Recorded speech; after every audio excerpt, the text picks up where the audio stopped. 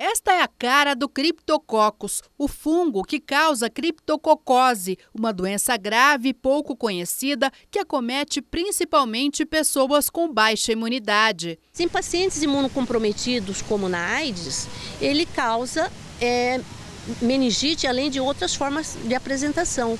E são doenças graves que podem levar a óbito. Esta amostra foi retirada do pulmão de um paciente infectado. Por ano, em média, 18 pessoas são diagnosticadas com criptococose no hospital universitário. A professora da UFMS pesquisa a doença há mais de 20 anos. Nós tivemos um caso interessante de um paciente que apresentou ao raio-x uma lesão única é, no pulmão e foi suspeitado de tumor, né?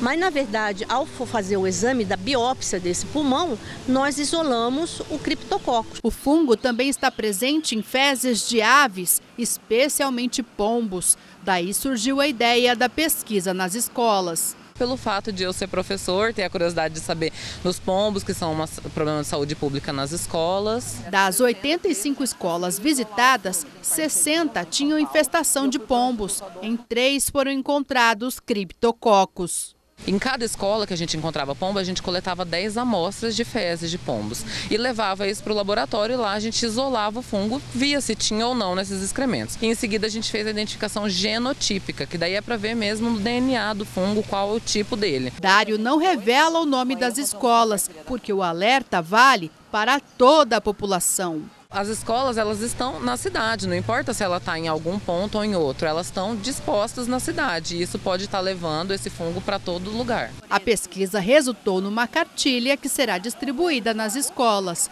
Os professores também serão capacitados para disseminarem estas informações. A gente vai oferecer um curso rápido para eles, bem didático mesmo, sobre essa doença.